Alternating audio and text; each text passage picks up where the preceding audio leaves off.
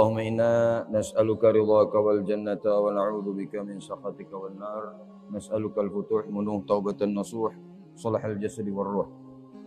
Yang insyaallah kumpulnya kita di sini, duduknya kita di sini merupakan tanda Allah Subhanahu wa taala mencintai kita. Min alamati mahabbatillahi li'abdihi salah satu tanda-tanda cintanya Allah kepada seorang hamba kepada hambanya adalah satu hadis Nabi Muhammad SAW yang diriwayatkan oleh Sayyidina Muawiyah dalam Sahih Al-Bukhari dikatakan may yuridillahu bihi khairan yufaqihu fid din.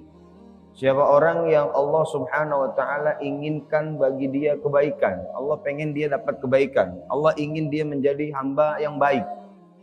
Itu syaratnya dari dari Rasulullah SAW kata Rasulullah yufaqihu fid din diberikan dia pemahaman dalam bidang agamanya, diberikan dia pemahaman bagaimana cara beribadah, diberikan dia pemahaman bagaimana cara berwudu, cara salat, cara bertayamum, sebagaimana kajian-kajian yang telah kita bahas di kesempatan yang telah lalu.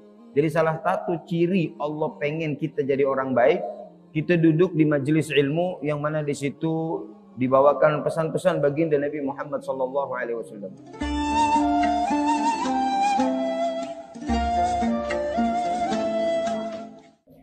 Ciri kita mau dijadikan orang baik juga. Yang kedua adalah diberinya kita iman.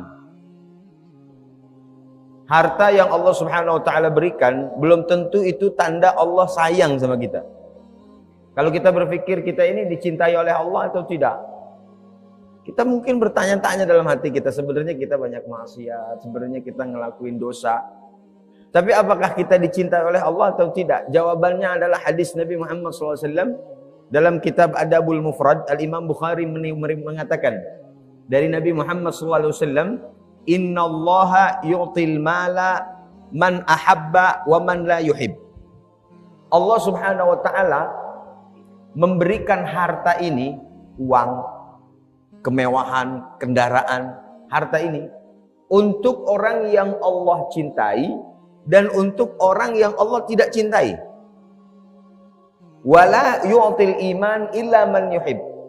Dan Allah tidak memberikan keimanan kecuali kepada orang yang Allah cintai.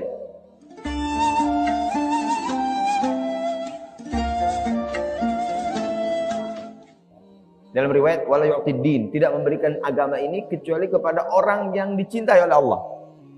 Jadi kita ketika seolah-olah kita hidup lancar-lancar aja, nggak ada bahaya apa-apa.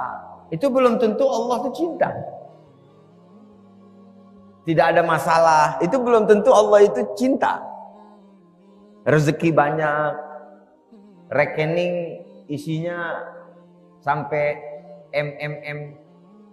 Itu belum tentu tanda cinta karena kata Rasulullah Allah memberikan harta di dunia ini kepada orang yang Allah cinta dan Allah orang yang Allah tidak cinta. Jadi bisa jadi orang yang tidak dicintai Allah juga dikasih harta, melimpah. Tapi tanda kecintaan Allah kepada seorang hamba ketika di dalam hatinya tertera la ilaha illallah. Itu tanda kecintaan Allah. Mudah-mudahan kita termasuk ciri yang kedua itu.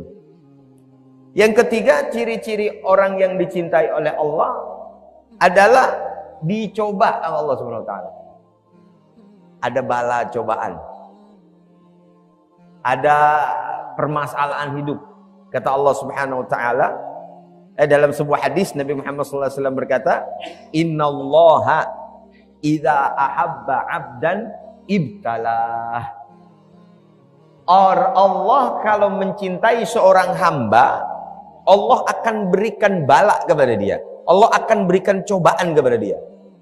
Jadi datangnya cobaan di dalam kehidupan kita itu tanda-tanda Allah cinta kepada kita.